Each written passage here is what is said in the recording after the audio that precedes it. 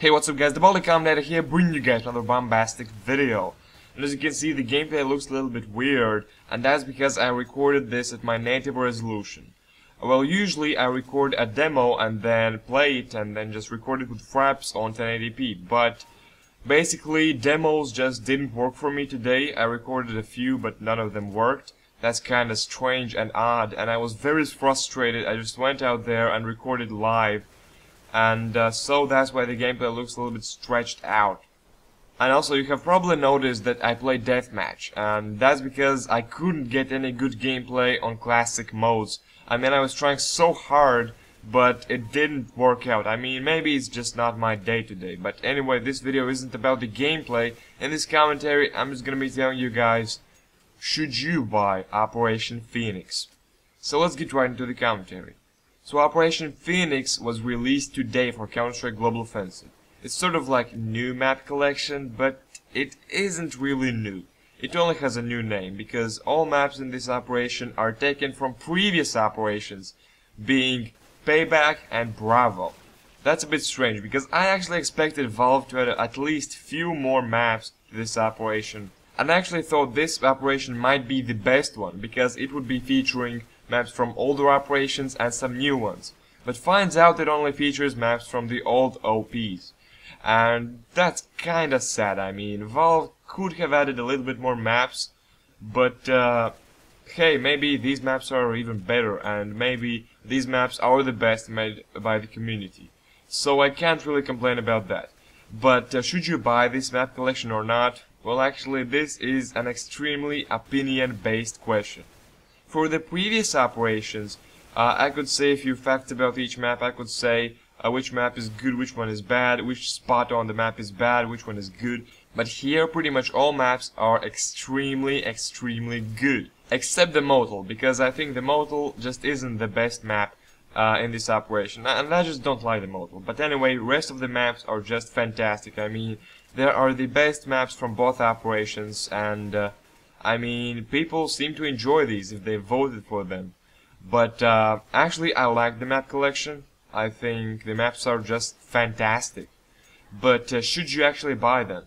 Now that's a good question. Well, if you enjoyed previous operations, then you most likely are gonna enjoy this one as well. Because it's featuring the same super cool maps. But uh, if you haven't bought any of the operations, then definitely go ahead and get this one. I mean, it's only 2 euros. It's an extremely good deal for that many maps. I mean, they are fun, there are many maps, and it's just a fantastic deal if you have never tried any of them before.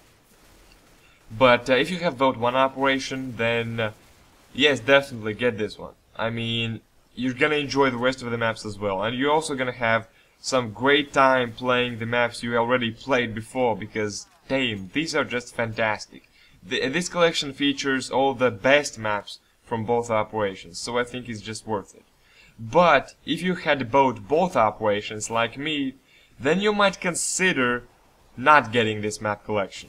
Because, well, I mean, you have already played all maps, uh, you have already experienced all of them, and you can still play them on community servers. So why should you actually get this one? Well, I got this map collection because, well, I like Counter-Strike and the more maps the better.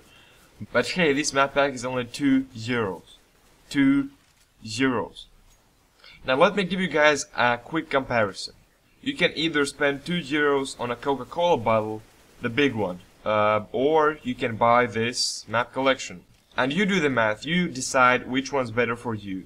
But in my opinion, this map pack is just too good not to buy because it's cheap, it features the best maps from both operations, and even if you had bought both operations before, it's not gonna be a waste of money if you buy this one, just because the maps are fantastic.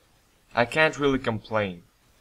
Anyway guys, hope you guys did enjoy this video. In my opinion, this is one of the best operations. It might seem like a waste of money because the old maps are brought back, but honestly, these old maps are just phenomenal.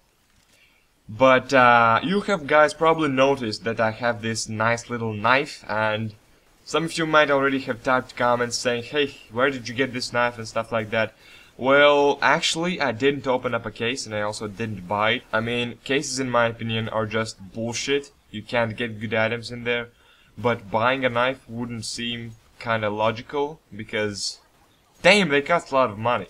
But actually I went into Counter-Strike and I went to my inventory and damn, the knife was just there. I mean, it kind of showed up. I don't know how it happened, but uh, it it was it was just there. I mean, it just showed up. What the fuck? I couldn't understand it myself.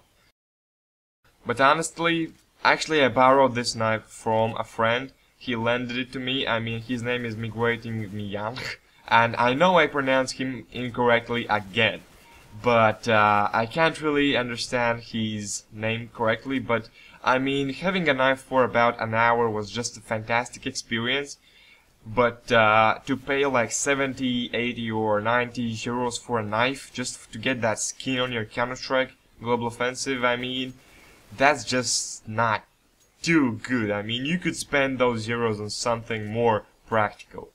But uh, it was it was definitely a great experience to have this knife and I definitely had fun. Thank you Migrating Mianch. But anyway guys, hope you did enjoy the video and if you did make sure to give this video a like and share this video with your friends. And also, let me know, are you going to buy this Operation Phoenix or not? This has been the Baltic Commentator, I'll see you all later, peace.